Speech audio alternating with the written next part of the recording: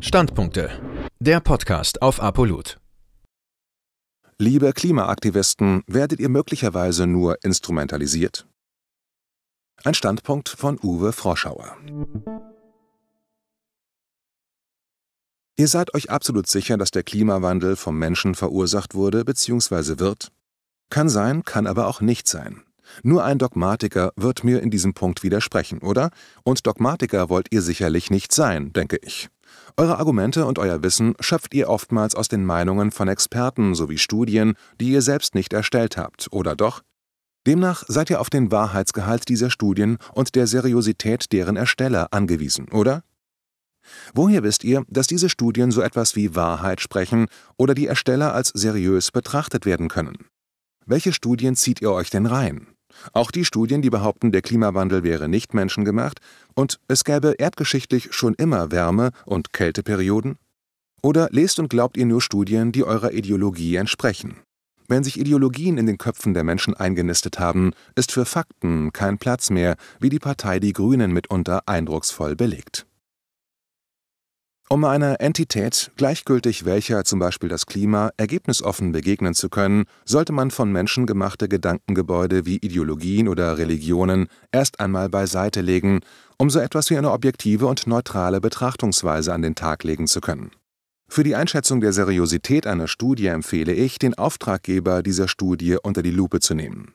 Wenn ihr euch an die Aussagen der Experten und Studien in Corona-Zeiten erinnert, und deren Wahrheitsgehalt nachträglich überprüft, müsstet ihr eigentlich zu dem Ergebnis kommen, dass diese Verkünder der Wahrheit einen rechten Blödsinn erzählt haben.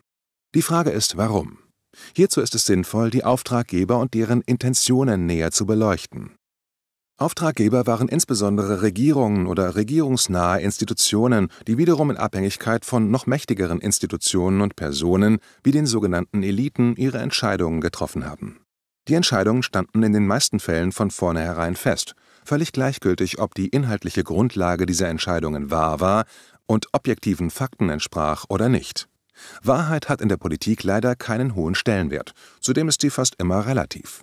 Um euch das Zusammenspiel von politischen Entscheidungen und deren wissenschaftlicher Untermauerung in Form von Argumenten und Beweisen mit Hilfe von Experten etwas näher zu bringen, möchte ich euch mit einem kleinen, recht amüsanten, meine ich, Ausschnitt aus meinem Buch Die Verschwörung der Coronaviren belustigen. Hans-Georg Maaßen, der Ex-Chef des Verfassungsschutzes, erzählte eine Geschichte, wie Politik gemacht wird. Hier die Geschichte in komprimierter Form. Ein Staatssekretär wird zu einem Minister gerufen, der ihm verkündet, die Kanzlerin und er habe entschieden, dass die Erde eine Scheibe ist. Jede andere politische Auffassung lässt sich nicht mehr durchsetzen. Auch auf die Bedenken des Staatssekretärs hin, dass doch die letzten 500 Jahre verkündet wurde, die Erde sei eine Kugel, lässt der Minister nicht locker. Der Staatssekretär geht zurück in sein Büro, lässt seine Mitarbeiter kommen und erklärt ihnen den Auftrag. Ein Mitarbeiter macht den Vorschlag, einen Gutachter, einen Professor zu beauftragen. Der Berater kommt und fragt den Staatssekretär, was er denn von ihm wolle. Seine Kompetenz oder seinen Namen. Letzteres wäre teuer. Wir hätten gern Ihren Namen und wir möchten, dass Sie zu dem Ergebnis kommen, die Erde ist eine Scheibe. Der Berater fragt, bis wann? Bis Freitag.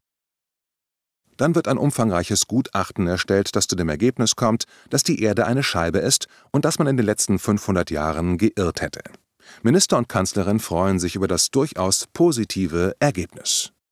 Fazit der Geschichte: Die Regierung hat eine bestimmte, meist von den Eliten vorgegebene Auffassung und dafür sucht man sich entsprechende Argumente. Die Ziele sind schon vorgegeben, die Wissenschaftler liefern nur die Argumente, haben aber nicht unabhängig über das Ergebnis zu befinden. Amüsant, oder? Die tatsächlichen Autoritäten verstecken sich hinter den vermeintlichen Autoritäten, um eventuell offen geäußerte Zweifel oder Widerspruch zu unterbinden, zu schwächen oder im Keim zu ersticken und selbst nicht belangt zu werden. Wer sagt euch, dass die Klimaexperten nicht in ähnlicher Form missbraucht und Studien über den Klimawandel nicht in ähnlicher Form entstehen? Ich würde euch raten, bei der Einschätzung der Seriosität von Studien und Experten der Spur des Geldes und der Macht zu folgen, egal ob es Studien sind, die zu dem Ergebnis kommen, der Klimawandel sei menschengemacht oder eben nicht menschengemacht. Solltet ihr Klimaaktivisten materiell auch von irgendwelchen Institutionen unterstützt werden, wäre es eventuell angebracht zu verfolgen, wer ganz oben als Drahtzieher in dieser Kette steht. Der eine oder die andere würde wahrscheinlich aus allen Wolken fallen und seinen Klebestandpunkt an einen anderen Ort verschieben. Aber dazu gehört noch mehr Mut als der, den ihr zweifelsfrei bereits beweist und vor dem ich meinen Hut ziehe. Ihr solltet eure Energie jedoch in die richtigen Bahnen lenken, wenn ihr, wie ich, eine bessere Welt wollt. Geht mit euren Aktionen lieber gegen das Kindermorden in Palästina oder gegen die menschenverachtenden Eliten, den Welthunger und dergleichen vor, das wäre in meinen Augen sinnvoll. Es gibt jede Menge sinnstiftende Themen. Eure momentanen Aktionen empfinde ich als relativ sinnbefreit. Ihr verschwendet eure wertvolle Energie. Eliten und deren unabhängige Politiker verfolgen eine Agenda, die nicht auf das Wohl der Menschheit ausgerichtet ist. Ihre medialen und wissenschaftlichen Eliten unterstützen sie hierbei, weil ihnen sonst das Wasser abgegraben werden würde. Diese armen Seelen aus Presse und Wissenschaft haben Angst um ihre finanzielle Existenz. Ich kann sie verstehen, habe aber keine Achtung mehr vor ihnen, da sie ihr Leid und das aller Menschen mit dieser regierungstreuen und abhängigen Haltung letztendlich vergrößern. Sie verkaufen ihre einstmalig wahrscheinlich vorhandenen journalistischen Werte für wirtschaftliches Überleben. Gelernte Journalisten bekommen heutzutage schon während des Studiums eine Gehirnwäsche verpasst, damit sie im späteren Berufsleben das Gefühl haben, ihre eigenen Meinungen zu Wort und Papier zu bringen. Diese Fremdsteuerung bemerken sie gar nicht mehr. Schande insbesondere über die Eliten und deren politische Marionetten, die Mitarbeiter der Medien zu diesem armseligen Dasein verdammen und teilweise zwingen. Euer Anliegen, liebe Klimaaktivisten, die ökologischen Grundlagen dieses Planeten und damit auch die Lebensgrundlagen der Menschheit sowie der Flora und Fauna zu erhalten, teile ich in vollem Umfang. Das 9-Euro-Ticket beispielsweise wäre aus ökologischer und sozialer Sicht definitiv eine sehr gute Sache. Wenn ich mir vorstelle, dass die fünf größten Mineralölkonzerne der Welt zusammen einen Gewinn von 195 Milliarden Dollar allein im Jahr 2022 gemacht haben und davon 53,5 Milliarden Dividenden an ihre Aktionäre ausgeschüttet haben, wäre mir auch klar, wie man ein solches umwelt- und sozialverträgliches Vorhaben wie das 9-Euro-Ticket finanzieren kann. Aber das wollen die Eliten natürlich nicht, da sie es sind, die hauptsächlich von diesen Gewinnen profitieren. Warum klebt ihr euch nicht vor den Toren dieser Mineralölkonzerne fest? Warum nicht im Eingang des Weltwirtschaftsforums in Davos, wo letztendlich die Köpfe der Konzerne ihre Köpfe zusammenstecken und euch erzählen, sie würden etwas für die Umwelt tun?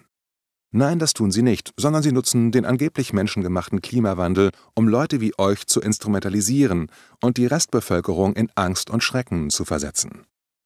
Erkennt ihr das in der Politik sich ständig wiederholende Prinzip denn nicht? Die Politiker erzeugen Angst, egal wie. Einmal ist es der böse Virus, der millionenfach Menschen tötet, was er aber nicht getan hat, dafür aber die Impfung gegen diesen Virus. Das andere Mal ist es der Klimawandel, der uns alle töten wird, und dann zur Abwechslung mal wieder der Terrorismus, der für Leib und Leben der Menschen zur Gefahr werden kann.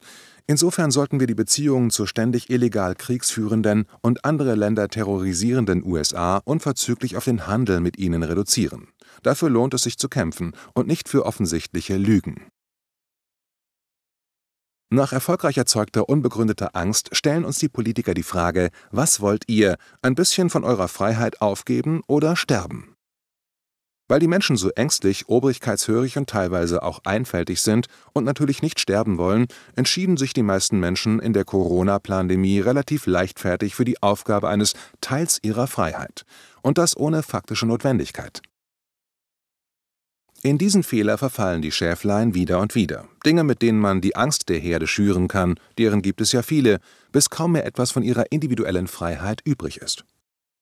Sie ließen sich und ihre Kinder einsperren, isolieren und maskieren und letztendlich impfen, um einen kleinen Teil ihrer Freiheit wiederzuerlangen. Was für ein mieses Spiel der Politiker. Mit zwei Peaks ist alles vorbei. Was es dann für manche auch war. Der Druck der Politiker, diese Impferpressung hat für mein Dafürhalten und mittlerweile von echten Wissenschaftlern belegt, zu der vorherrschend enormen Übersterblichkeit weltweit geführt. Länder mit hoher Impfquote weisen auch eine hohe Übersterblichkeit auf und umgekehrt. Zufall? Zufälle gibt es nicht. Ähnliche Spiele treiben die Entscheider in Sachen Klima, Ukraine, Energie und Lebensmittelversorgung. Das Spiel mit der Angst funktioniert immer. Wenn die Menschen aufhören, unbegründete, lediglich eingeredete Angst zu haben, hören sie auf zu kriechen, und erst dann hören die Mächtigen auf zu herrschen. Leider pennt noch der Großteil der Menschen. Meines Erachtens fallt ihr Klimaaktivisten von der letzten Generation, Extinction Rebellion, Fridays for Future und so ebenso wie die Geimpften in Corona-Zeiten, auf die Machenschaften der Eliten und ihrer Handlangereien, die euch vor ihren Karren für ihre unlauteren, menschenverachtenden und vernichtenden Ziele spannen. Den Eliten und ihrem Gefolge geht es nicht um Klima und Umwelt, sondern um totale Kontrolle und Versklavung der Menschheit, um ihre kranken und armseligen Bedürfnisse nach noch mehr Macht und Geld zu befriedigen. Sie wollen den Menschen ihr wichtigstes Gut, ihre Freiheit nehmen. Wie ihr wahrscheinlich auch mitbekamt, haben sich sämtliche Corona-Maßnahmen als unnütz erwiesen. Die Lockdowns führten unter dem Vorwand einer Pandemie unter anderem zu Freiheitsberaubung. Einer der nächsten Vorwände für massive Grundrechtsverletzungen werden vermutlich besorgniserregende Umweltzustände sein, die niemals eine Pandemie war, sondern eine Plandemie, die von den Eliten lange vor dem Jahr 2020 angedacht wurde, um die Menschheit auf ihre Spur zu bringen. Die Masken waren absolut überflüssig und gesundheitsschädlich. Die Wirtschaft, insbesondere die kleinen und mittelständischen Unternehmen, wurde ruiniert und einige Menschen wurden in den Selbstmord getrieben. Die Impfungen haben in medizinischer Hinsicht bis auf eine enorme Schädigung des Immunsystems und den damit immer evidenter werdenden Folgen nichts bewirkt. Weil die Viruskeule bei der Bevölkerung nicht mehr zieht, packen die Eliten bewusst die Umweltkeule wieder verstärkt aus und instrumentalisieren junge und noch formbare Menschen wie euch für die Erreichung ihrer menschenverachtenden Ziele. Es wäre schön, wenn ihr diese Umstände erkennen würdet. Meines Erachtens macht ihr euch bewusst oder unbewusst mitschuldig an den Missständen dieser Welt, und ich glaube zu wissen, dass ihr das nicht wollt. Euer starkes Bedürfnis nach moralischer Überlegenheit machen sich die manipulierenden Entscheider zunutze und setzen euch Eseln, entschuldigt den hier rein metaphorisch gebrauchten Ausdruck, genau das Futter vor die Nase, auf das ihr anspringt, um ihren mit Macht und Geld beladenen Karren zu ziehen. Es muss nur die richtige Möhre sein und schon funktioniert ihr. Wenn ich mir teilweise Aufnahmen von weinerlichen bis hysterischen Ausbrüchen von euren Leidensgenossen ansehe, muss ich sagen, dass eure Verführer ihren Job sehr gut machen. Wenn euch wieder mal eine Krise eingeredet wird, dann lasst sie doch einfach ausfallen. Reicht doch, wenn ihr bei der nächsten wieder dabei seid. Viele von euch wählen wahrscheinlich die Grünen, vermute ich. Aber seht euch diese Partei mal etwas genauer an. Sie wollen ein grünes Paradies, was ja auch voll in Ordnung ist, vergessen dabei aber den Menschen und die wirtschaftlichen Grundlagen, was nicht in Ordnung ist.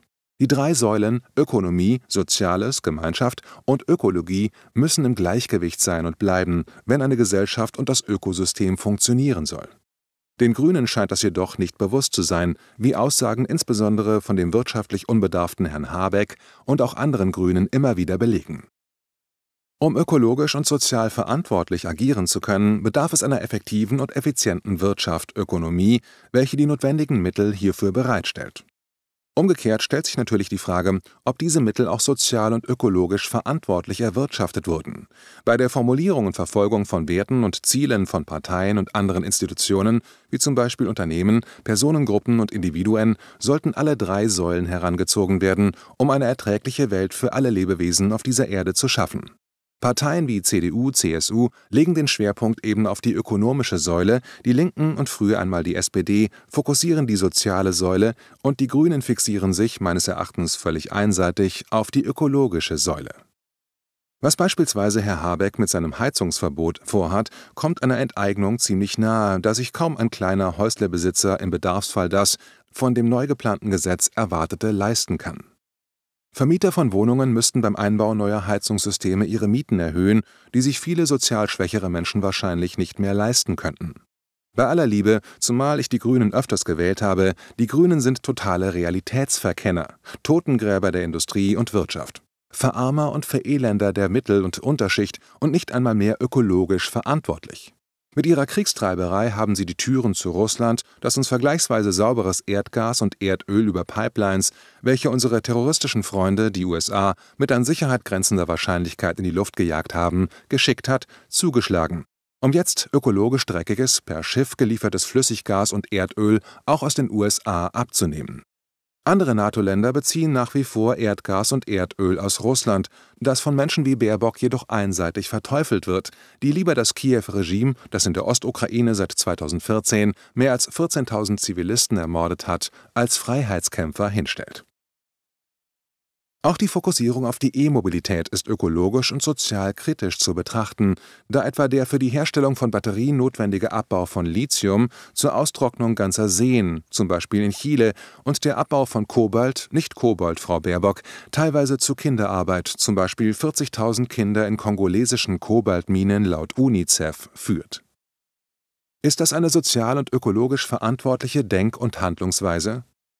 Aber diese ärgerlichen Nebeneffekte werden als Kollateralschäden bei der Durchsetzung ihrer grünen und teils menschenverachtenden Fantasien abgetan. Der grüne Zweck heiligt die Mittel, meinen Saubermänner wie Habeck, dessen Ministerium von clanartigen Strukturen verseucht ist und dessen parlamentarische Staatssekretärin von BlackRock stammt.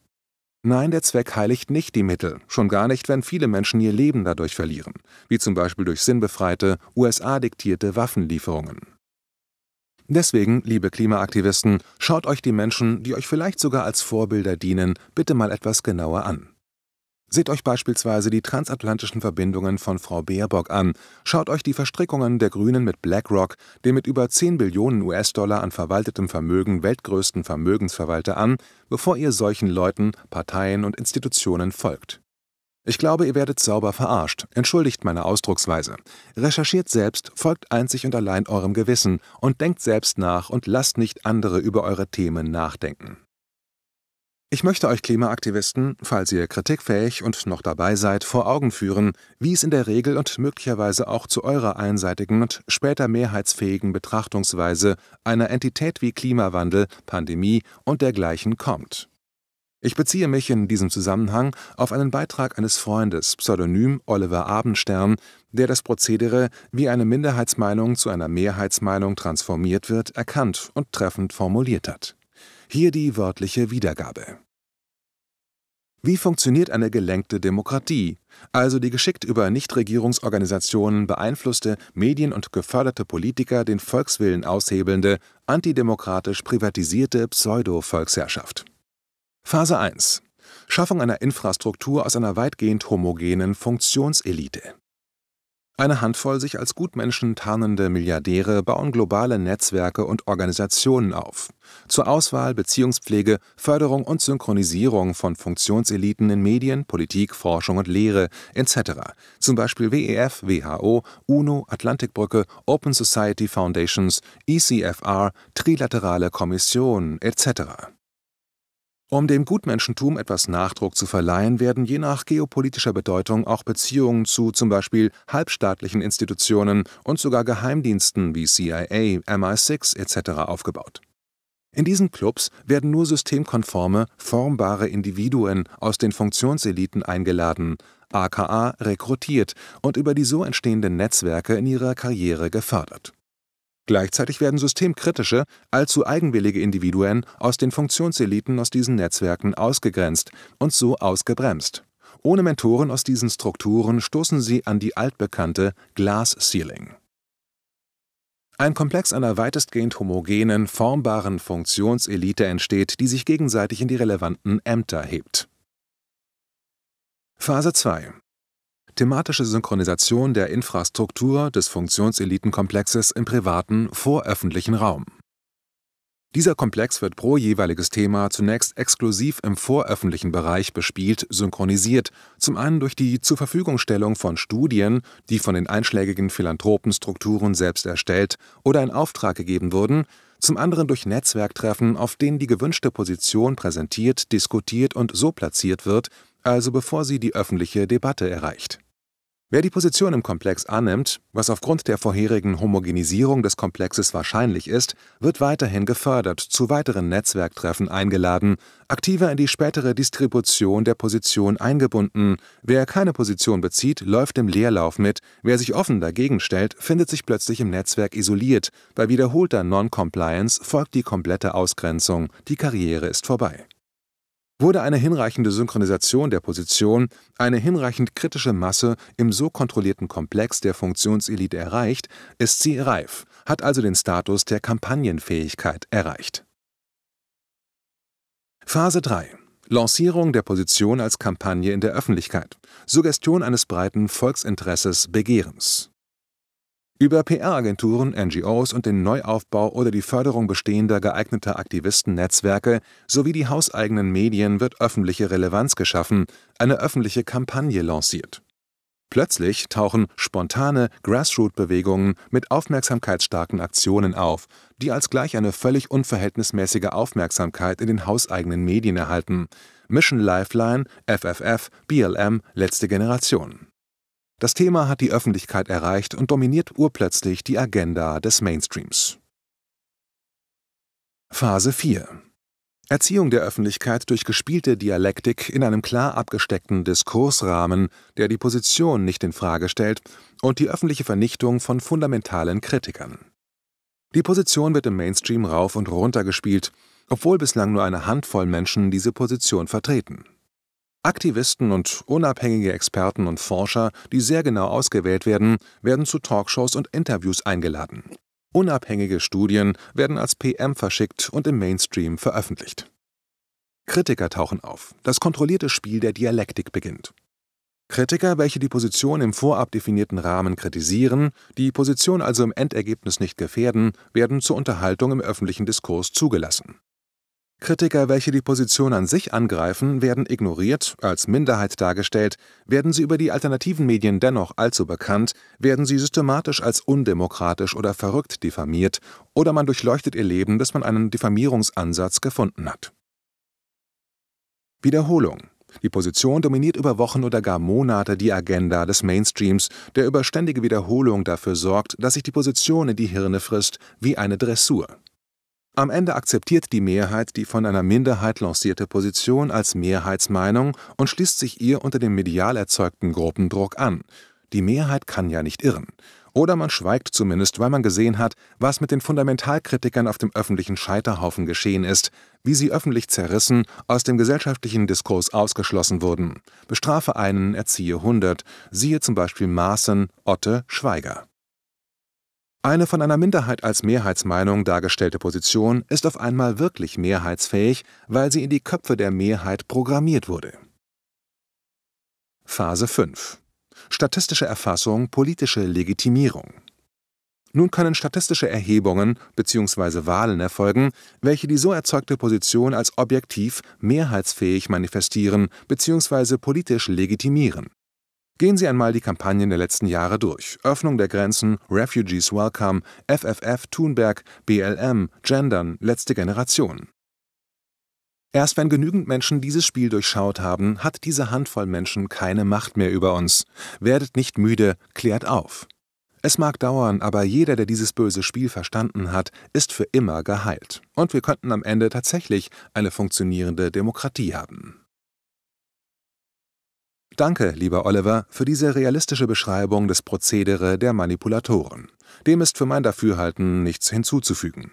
Auch das Zitat von Klaus Kinski, das du auf deiner Facebook-Seite gepostet hast, möchte ich meinen werten Lesern nicht vorenthalten. Zitat Wahlen sind nichts als ein psychologischer Trick, denn es sind die Ultrareichen, die ihren Willen durchsetzen. Das Wählen täuscht dem Arbeitsvieh lediglich vor, dass es frei sei. Zitat Ende. Und liebe Klimaaktivisten, habt ihr euch eventuell auch in dieser beschriebenen Weise manipulieren lassen? Halb so schlimm ist mir auch passiert. Wer A sagt, muss ja nicht B sagen, er kann auch erkennen, dass A falsch war und seine Schlüsse daraus ziehen. Liebe Klimaaktivisten, erweist euch einmal den Gefallen und seht euch auch Studien und Artikel von Wissenschaftlern an, die den menschengemachten Klimawandel zumindest in Zweifel ziehen. Seriöse Beiträge findet ihr nicht in Mainstream-Medien wie SZ, Spiegel, FAZ, ARD, ZDF, den meisten Fachzeitschriften usw., sondern in alternativen Medien, die unabhängig von Regierungen und Geldgebern wie Gates, Soros und Konsorten berichten. Mainstream-Medien beißen nicht die Hand, die sie füttert, sondern helfen mit bei der Manipulation der Herde, die teilweise zur Schlachtbank geführt wird wenn ihr mehr über eventuell auch eure Manipulation wissen wollt, könnt ihr euch ja einmal mein Buch Das menschliche Schaf Massenbildung und Manipulation reinziehen. Vielleicht interessiert euch auch, wie ich die Sache mit dem Klimawandel sehe. Nein, ich erzähle es euch trotzdem. Ich denke, wir sind am Ende einer Eiszeit und die Klimaerwärmung wäre so oder so gekommen. Die Aktivitäten der Menschen haben möglicherweise diesen natürlichen Vorgang um ein, zwei Jahrzehnte vorverlegt. Die Hysterie, wir werden alle sterben, wenn wir jetzt nichts gegen den Klimawandel tun, jedenfalls der einige Zeitgenossen verfallen sind, ist meines Erachtens unbegründet. Gerade weil die meisten Regierungen der Welt den menschengemachten Klimawandel propagieren, glaube ich, dass die Sache gewaltig stinkt. Sie haben uns ohne Rücksicht auf unser Leben in Corona-Zeiten belogen und betrogen, und nun tun sie es nach meiner Ansicht in Bezug auf den Klimawandel wieder, um ihre unredlichen Ziele zu erreichen. Sie haben die Mehrheit der Bevölkerung durch das von Oliver Abendstern aufgezeigte Prozedere von der Richtigkeit ihrer Aussagen überzeugt. Mich nicht. Hannah Arendt hat diesen sich innerlich auch in mir vollziehenden Verlauf wie folgt beschrieben. Zitat: Niemand, dem du beibringst zu denken, kann danach wieder so gehorchen wie zuvor. Nicht aus rebellischem Geist heraus, sondern wegen der Angewohnheit, im Zweifel alle Dinge zu prüfen. Zitat Ende. Für die Manipulierer wird es im Falle des Selbstdenkens der Menschen schwer, ihre Halbwahrheiten und Lügen weiterhin aufrechtzuerhalten. Leider haben wir die kritische Masse, eine ausreichende Zahl von Menschen, die aufwacht und selbst zu denken anfängt, noch nicht erreicht. Die meisten Menschen glauben weiterhin den Lügen und Halbwahrheiten der Eliten und merken umgekehrt nicht, dass die Wahrheit von den Eliten als Lüge diffamiert wird. Solange das so bleibt, wird die Menschheit Spielball einer Handvoll Menschen sein. Hierzu meinte Hannah Arendt, Zitat, denn das Resultat ist keineswegs, dass die Lüge nun als wahr akzeptiert und die Wahrheit als Lüge diffamiert wird, sondern dass der menschliche Orientierungssinn im Bereich des Wirklichen, der ohne die Unterscheidung von Wahrheit und Unwahrheit nicht funktionieren kann, vernichtet wird. Zitat Ende. Wenn euch der Beitrag gefallen hat, bitte wieder teilen. Danke dafür.